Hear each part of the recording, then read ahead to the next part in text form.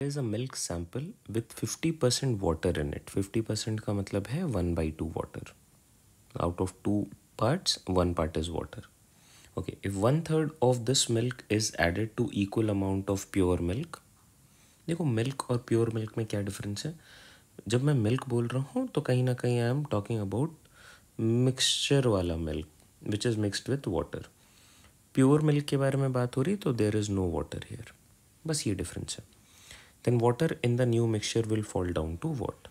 Okay. अब ऐसे question में हमेशा आपको पहले टोटल कितने पार्ट्स होंगे वो अज्यूम करना इंपॉर्टेंट होता है। तो आप अज्यूम करो let the total parts let total parts be जो डिनोमिनेटर है। टू और थ्री सो इजी तरीका है इसका टोटल पार्ट्स को अज्यूम करने का। Take them as LCM of denominators. So, we have the denominators as 2 and 3. So 2 और 3 के लिए LCM क्या होगा? 6. तो मैं ऐसा बोल सकता हूँ in total there are six parts in total there are six parts okay अब हमेशा मुझे इसको ही डिवाइड करना है। तो क्या होगा?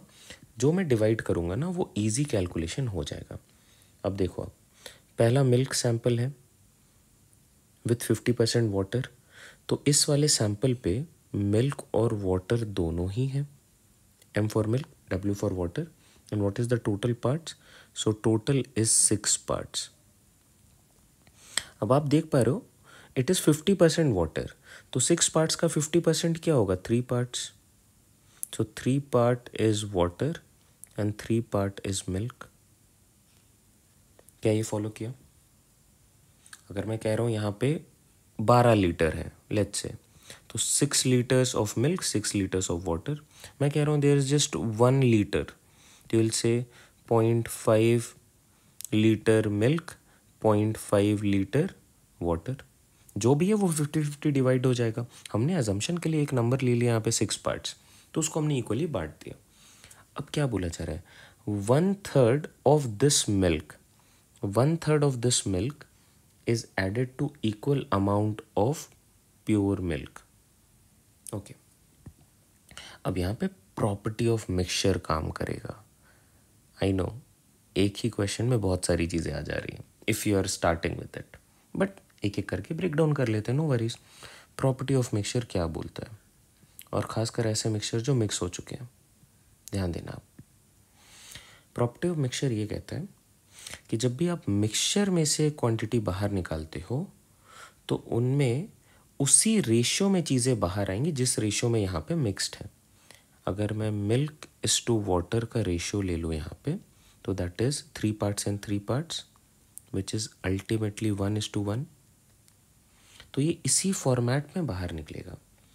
वन थर्ड ऑफ़ दिस मतलब टोटल में से वन थर्ड मैं बाहर ले रहा हूँ अभी एक नेक्स्ट सैंपल के लिए। सो इस टोटल का वन थर्ड क्या है? One third of six parts is actually two parts अब ये जो टू पार्ट्स है, ये मिक्सचर है. दिस इज़ मिक्सचर इस टू पार्ट्स में मिल्क कंटेंड है वन पार्ट और वाटर कंटेंड है वन पार्ट ये फॉलो किया? ऐसा नहीं कि आप वन थर्ड मिल्क ले रहे हो तो जस्ट ये बाहर आएगा. ऐसा नहीं है. वन थर्ड का मतलब यहाँ पे क्या है? आप फॉलो कर पा रहे हो। आप ऐसे समझो मिल्क और वाटर मिक्सड होंगे ना, और ये आपको दिख रहा होगा मिल्क इसमें से आपने one third of the liquid बाहर निकाला। तो आपने एक्चुअली में टू लीटर्स बाहर निकाला, अगर ये सिक्स लीटर्स है।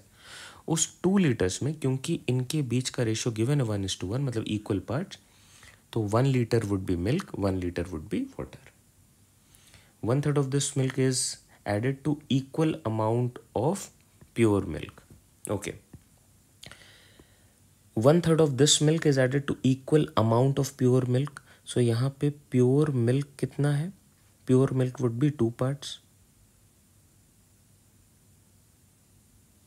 और यहाँ पे अडल्टर्ड मिल्क आके क्या हो रहा है? तो मिल्क में फिर से लिख रहा हूँ, इस इस वाले में से कितना आ रहा है?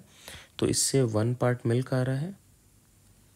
And you get water as one part तो आइडली ये जो टोटल है दिस इज़ फोर लीटर्स और फोर पार्ट्स ये समझ में आया क्यों? Because it says one third of this milk one third of this value is two parts is added to equal amount of pure milk so two plus two will be four parts two parts इसमें pure milk है, एक part और यहाँ से pure milk आ जा रहा है. So this four part is actually broken down as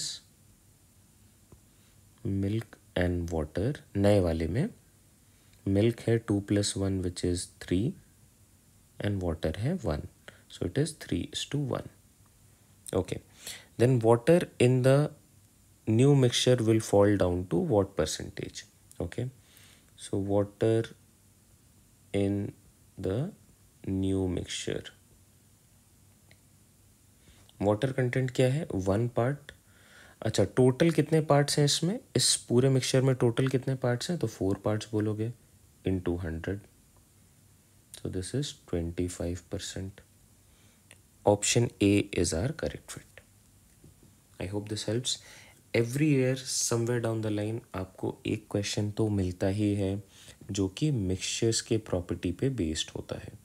अब मिक्सचर एक ऐसा टॉपिक है, जिसको समझने के लिए आपको परसेंटेज एंड रेशियो प्रोपोर्शन का कॉन्सेप्ट आना चाहिए।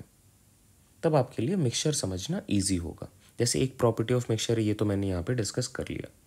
और भी कुछ इसके प्रॉपर्टीज़ हैं, जो कि कोर अरिथमेटिक टॉपिक्स जब आप पढ़ना स्टार्ट करते हो तो you understand you get a hold of these things अगर आपको ऐसे और वीडियोस देखने हैं मिक्सचर को और अच्छा कमांड करना है you can always join our running course which is the C set twenty twenty five course I hope this helps for any queries आपको कहीं पे नहीं समझ में आ रही you want me to explain please drop a comment in the comment box